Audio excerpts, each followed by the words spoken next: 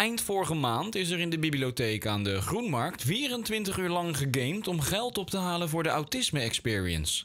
Nou, sowieso zijn we erg blij dat uh, Ruby Games zo'n groot bedrag aan ons uh, ja, doneert voor uh, de Autisme Experience sowieso. We zijn er heel veel mee van plan. we zijn echt goed op weg. Op 2 september dan presenteren wij grotendeel van, van de plannen aan het publiek toe. Dus ook wat visuele aspecten. Dus meer over de attracties, meer over de belevenis. Wat, waar heel veel mensen naar op zaten te wachten, zeg maar. Op daar meer op antwoorden kunnen we nou eindelijk uitsluitsel overgeven.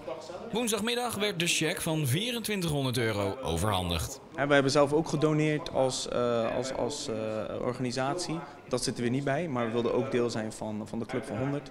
En uh, we hebben grote donateurs gehad, die, die zijn er ook vandaag bij.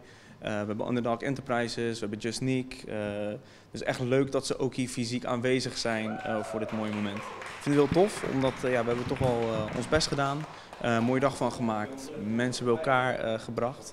En dit is een beetje de, de celebration ervan. Uh, en we gaan de samenwerking doorpakken. Uh, daar gaan we ook leuke nieuwe activiteiten voor, voor hosten, ook hier in de bibliotheek als het goed is. En we gaan kijken hoe we dat constant kunnen uitbouwen. Dus rete enthousiast. De Autisme Experience moet een centrum worden waarin um, mensen kunnen leren hoe het is om iemand te zijn met autisme. En um, het, moet, het moet natuurlijk niet zwaar op de hand zijn. Het moet een leuk dagje uit zijn. Educatief moet het ook zijn. En um, ja, bijvoorbeeld um, als mensen bijvoorbeeld iets willen leren over hun zoon of dochter of een familielid of een eh, partner of een vriend of een vriendin, dan kunnen ze daar gewoon terecht en dan kunnen ze alle antwoorden krijgen op al hun vragen, zodat ze beter de personen kunnen begrijpen om wie ze geven en houden. Ja, wat is er nog veel uh, onbegrip rondom autisme? Ja, best wel. Ja. Er is best wel heel wat negativiteit en om het aspect, zeg maar, om het aspect autisme. En met de Autisme Experience willen we juist weer positiviteit um, creëren. En uh, laten zien dat er heel veel kansen zijn met, met autisme uiteindelijk. Dus um, dat is hetgene wat wij willen bereiken met, uh, met mijn collega's van de Autisme Experience. En zou er een plek zijn voor een Autisme Experience?